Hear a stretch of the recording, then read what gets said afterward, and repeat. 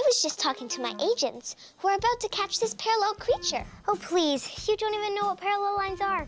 Parallel lines are two straight lines next to each other that never cross. I was testing you. You passed. But we're still going to win this competition. How about this? If you lose, you have to wear a t-shirt with my face on it. Fine. But if you lose, you have to wear a t-shirt with my face on it. Hey, that was my idea. I know. I stole it from you.